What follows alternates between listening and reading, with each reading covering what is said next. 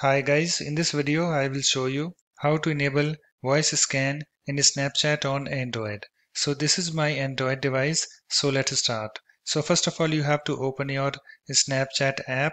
So here is my Snapchat app. Let me tap on this to open it. You can see guys it's opened and after that you have to tap on your Bitmoji at the top left and then tap on this gear icon, this settings at the top right. And I have this settings, uh, this screen opened.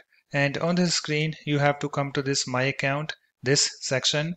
And in this section, you have to scroll down to this Voice Scan and then tap on it. And I have this Voice Scan, uh, this screen opened. You can see I have this Voice Scan over here. You can see currently it's disabled you can see the toggle is disabled. And also here we have this message. Let's read that. Uh, enabling will allow you to use your voice to take certain actions within Snapchat, such as searching for lenses.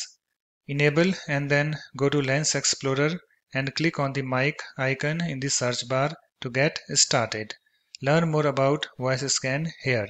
So if you want to learn more about this voice scan feature, you can just tap on this here this link. So in order to enable voice scan, you have to tap on this toggle button next to this voice scan and move this slider to the right. So let me show you. Let me tap on this. And you can see guys, voice scan enabled. So it's now done. After that, you can go back to your main screen. So let me go to that.